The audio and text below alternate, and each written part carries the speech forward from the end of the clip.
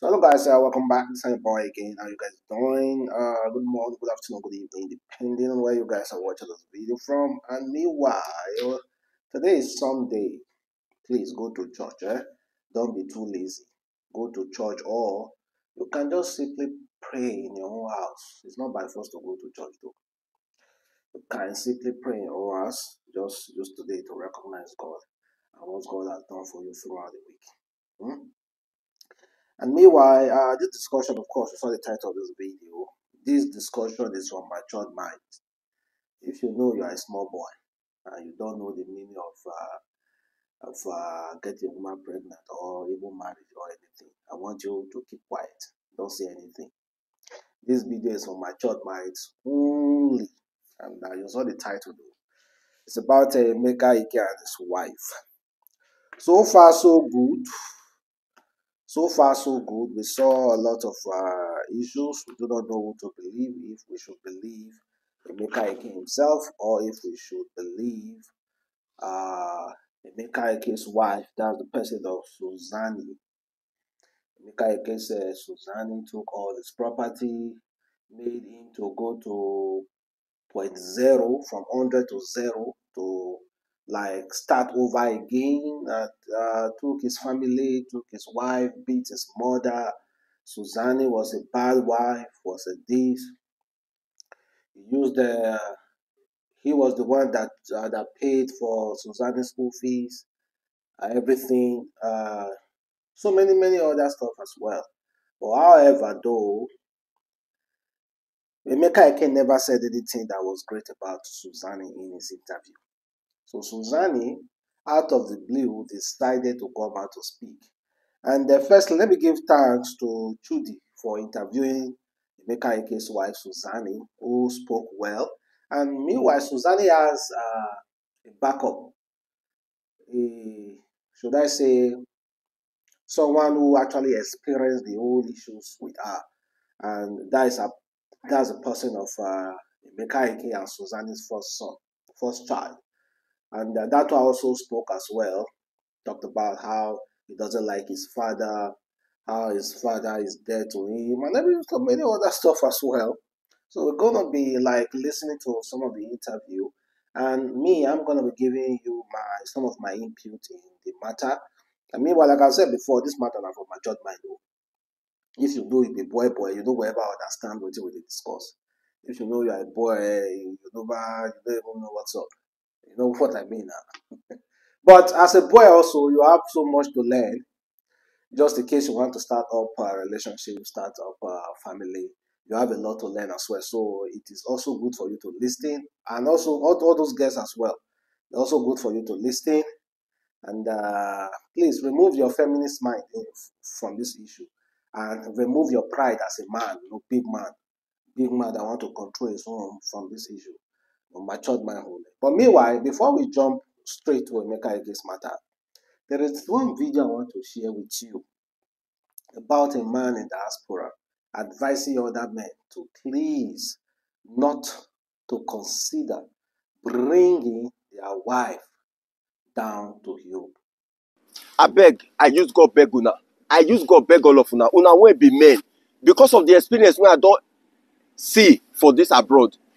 If you know say you be authoritative man, no carry your wife come this abroad. Na the message when I get for una today be that. If you know say you be authoritative man, you dey like to take control over woman well well. You dey like to tell when you when you tell that woman sit down there, make the woman sit down. That life when you follow that woman live back home in Africa. You dey like to take advantage of women, especially wife or your girlfriend or whatever that girl may be to you. If you know say you be man wey be say when you cough, you want make your wife dey shake. When you talk, you want make your wife dey obey every word when you talk. Any when you want make your wife no even get voice for where you dey talk at all, just because of the kind life wey our mothers live under our our fathers. If you know say you be that kind man and you dey for this abroad, you dey plan to carry your wife come this abroad, make you get change of mind. No carry that woman come abroad o because for this abroad dem no dey fit oppress woman o if you carry that woman you make that mistake of carrying that woman to this abroad that woman go frustrate you o that woman e go make your life bend o that woman e go turn your life around. The labour wey you don labour over the years for this abroad the woman e go take advantage of you and you go regret your life. If you know say you be loving man you be romantic man you be man wey really love him wife wey no dey like to oppress woman na there e go favour you to carry your wife come this abroad. But if you know say woman no dey talk for where you dey talk if you know say when you cough that woman need to dey shake dey piss for body and to dey shit for body no carry that woman come abroad because e go purge you e go purge you be Well, okay, that was that guy have to say. And it kind of like made a lot of sense. So, you know, today na Sunday. I have an open mind. So I think the best bet for all those kind of men is to change, have a change of heart. You know, it is always good eh, to give your spouse free choices, know, because they are human beings on their own. They have their own thinking, they have their own mind, they have a way of uh, looking at issues differently. So it is always nice eh, to allow them as well to think their own now. You as an African man shouldn't always be about imposing and imposing and imposing. There's a way you impose things. You know, we are still learning when it comes to the relationship. you are still learning. You are still learning every day, and things might change in the in the nearest uh, in the nearest future. But I think he gave a really nice advice. If you are an authoritative man, he said, "Look, your wife come up." But that is to say, not only Nigeria, not good, not only Africa good to oppress women. What a shame. Not only Africa good to oppress women. So you see what our uh, this cause. So let's let's move past that. Let's talk about uh, Emeka Ike. Without further ado, I want to play you a video from uh, Emeka Ike's wife when she was asked about uh, that uh, Emeka Ike said he traveled abroad and before he came back, you have sold all the properties. This is what the woman have to say. I don't know. Then he says that he went to the UK, to the US with a luggage, and by the time he came, you had swept everything clean from him. Okay.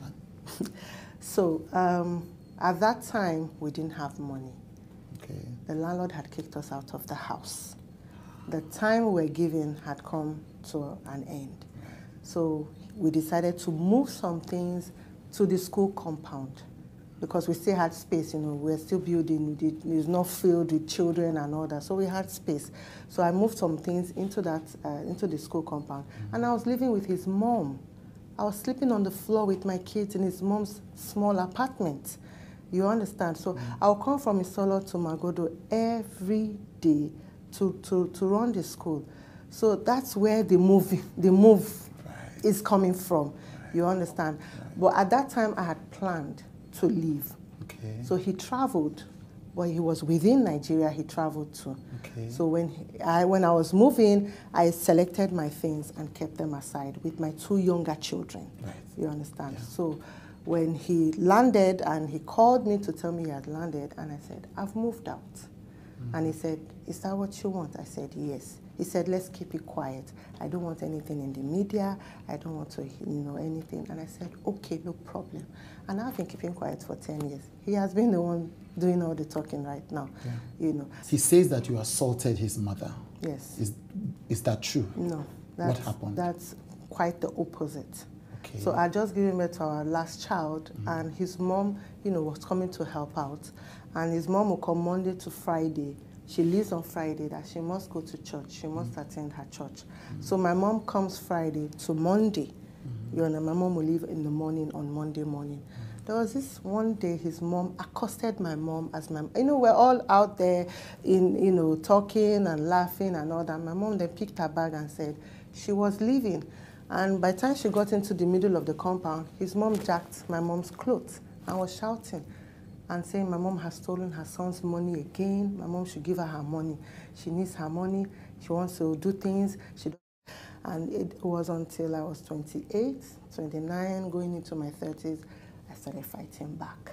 Right. And then it's now escalated from, you know, um, verbal and all that, and then became physical. Right. You understand? And then still, even with that, people would say, "Oh, you know, it's a man's world," and you would. I, I, I didn't think of myself, mm. you know, but until the last time that he did beat me up and I was almost paralyzed, that was when I decided that I need to go. But still, I stayed two more years after that, you know. But He beat you until you were almost paralyzed. Yes, he did. Yes, he did. I we had gone out with the kids and we came back and um, I was changing my daughter and he saw you know her nappy rash and it was a bad nappy rash and he was all over the place angry and all that that she'd been molested and I said how this is nappy rash and he was going on and shouting who did I give his daughter to this and that and I should they need to they need to check her and everything. And I tried to calm him down that this is nappy rash. I use Vaseline instead of powder. That's why it's so red. You know that kind of thing. And he was going on and on, and I was like, okay. And at that point, I was getting upset. You know, like you can't be doing this. And then he, he I was like, okay, give me money. Let me take her to the hospital and let's get her checked. And then he hit me you know. And at that point, I had like, you know, like you can't keep beating me up, you know. And I held his hand, and so he just turned me over and hit me, and then he hit me at the back of my neck here, and that was it. I lost sensation to all my body, my body parts. I went down on the floor. I couldn't feel my arms. I couldn't feel anything, and he kept hitting me. He kept hitting me and hitting me, and I was shouting, Emeka, if you hit me one more time, I would die. I can't feel anything. I was only seeing the stars. So when he hits me, it goes poof, you know, that kind of thing. And that was only what I was seeing. I could talk, I could hear, I could see, but I couldn't feel. This was in front of our kids. This was in front of his, his PA at that time, Debola. And I was, you know, trying to move my body. My body wasn't moving, you know. So when he realized himself, he got up, he walked out of the house. And I was there for like 10, 15, 20 minutes, I don't know. I was still trying to move, trying to move, trying to move my body. And then I felt this sensation all over, like a million pins, you know, poking me, pricking me, and everything. And I think the nails were beginning to connect or something, you know. And then I got up. And that was when I saw the boy, Debola, peeping from the door. I guess he had told the boy to come and check if I died. You know, that kind of thing. And then I spoke the boy's name. I said, Debola. And the boy ran out. I think he didn't want to come close so that they don't say he's the one that killed me or something. Hmm. And then I heard his car drive off. And I picked my children and I ran to a friend's house. He's denying it, but I always, there are people that I run to their houses every time he beats me up. People that I run to their houses in the middle of the night. People that I run to their houses and I collapse. All this happened and they are living witnesses. I have pictures. I presented those pictures during the divorce. I still have those pictures, but I'll only give my evidences in court. Right. So, so he, wow. For, for the kid, Pictures. You know, I'm a very, very well experienced person. I've gone through so many stuff. I've seen families and I've and I've uh, seen uh, things firsthand. And one thing I know about every man is that uh, if you have pride as a man, mm, and you feel you have never offended anybody because you provide money for your family, eh, please know this: you are wrong. Don't think you are the best of all fathers simply because you provide and then you can tumble on everybody's emotions. You can tumble on everybody's uh, uh, everybody's uh, opinions and everything. Beat up your wife, say you are a great dad. Come on, man, you are deranged. Your brain is not working fine. As a man, eh, you should be able, at some certain age, should be able to tell yourself the truth that he then, despite I provided so much for my family, so much for my family, I also messed up as well. It takes really hard, like a well understanding man eh, with so much wisdom and to sit down eh, and just think about his own wrongdoings and say, Yeah, I messed up here, I messed up here, I messed up here, and tell yourself the absolute truth when nobody is there. If you can't, eh, then sorry, you know you should you definitely have a problem with your head. It's not, it's not, it's not, it's not, uh, it's not, uh, hmm, should I say, it's not, uh, it's not an ordinary high. There's something wrong with you. There's something mentally wrong with someone who thinks that it doesn't offend people. Then don't don't say it's normal. If you are that kind of person, you will lie here. Go and check. Go to psychiatric hospital and check your brain. You will definitely, they will definitely tell you something's wrong with you. Honestly, you will not realize it. But that's the way I say Ike because as far as you are talking bad about every man, eh, every person, eh, you should also talk good. Also the wife as well. I don't know why when couples are having problem, they don't talk about the good side. You only talk about the bad, the bad, the bad side. Sometimes you say, oh, this man at time or so so time was so nice, was the best father, took me through schools, did so much for me, but at times goes on, something, something happened. I don't know what switched in him. It became violence. Why not start from there? And also the husband as well. Why not start from that? Oh, this woman was so kind to me. I love this woman with all my heart. She was great mother. She did so much for me. Then before moving to the bad side. Before moving to the bad side, because everybody then the woman, eh, I don't know why women doesn't know how a man become poor. Why is it that women remove themselves from that aspect? Now she said, then they had no money, landlord issues. How come a man who built school, who did so much, all of a sudden there was no money again? Now it's just the man alone that is only in that room of no money. A woman, a wife should be able to understand every man's finances and how come that man who was formerly doing well is no longer doing well now. But women, they they don't take that blame. They remove themselves from there. And if they start saying, "Oh, this woman is an opportunist," then they, they, they, start getting angry and say, "Oh, you were beating me. You were doing this.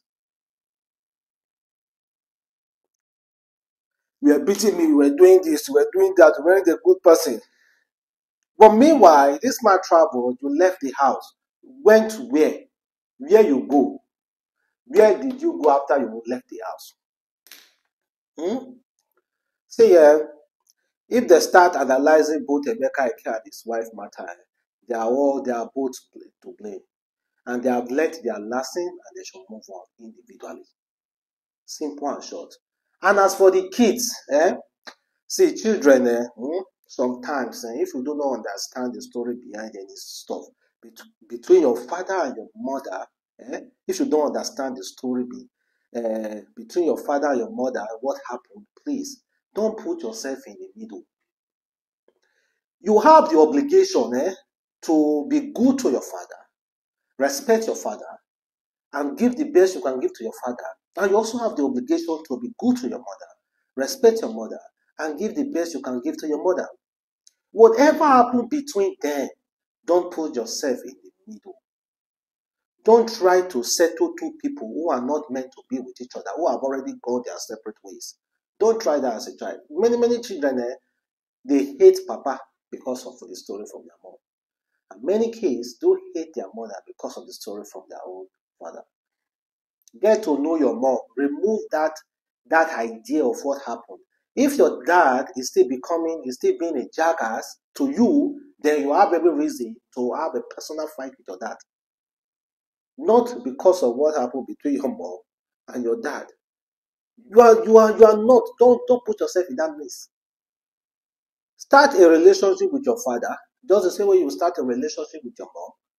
Then if your mom keeps being disrespectful to you based on her own issue, then you know by then, you will know exactly because of what Emeka Ike's son said recently. And there was an audio. Papa. And then he said whether she wants to kill my siblings so that it will be like it's only him that is alive. Let himself kill himself. Everyone should just kill themselves. Who says they can kill themselves to their children? He said he has other kids uh, my age around the world. And I was like, guy, okay. Is that supposed to phase me? Okay. The next morning, I got a 10 minutes VM.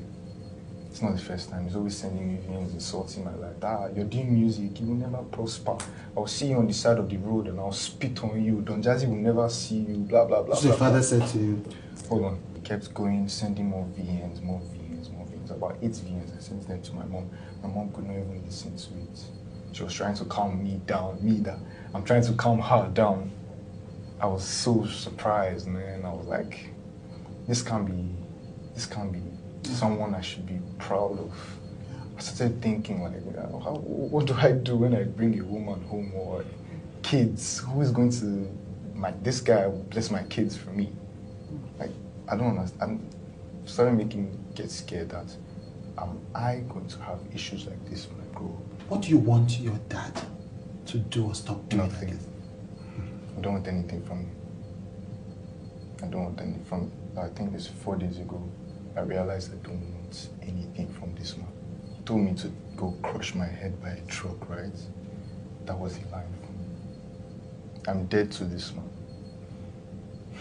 Don't want anything from you. I just ask you this because you know how Nigerians are on social media, so I want to preempt that question. People will say that your mother has turned you against your dad, and that's why we are here talking. How do you respond to that? When I met my mom, the first thing I said was I really hate my father. When you met your mom for When I the met first mom time, For the first Yeah. time. Michael, go and drop in front of a tru- truck right now. Now, now, now, go and drop in front of, jump from where you are, break your head and smash it. You're my stress. You're my problem. You're the one I sent to school. I spent all my money that I didn't have. I was just getting money to save you.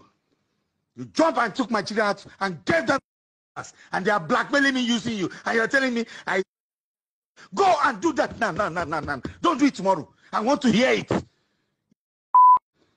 Think I'll let you blackmail me? And I will still get your mother. Oh. Ha ha.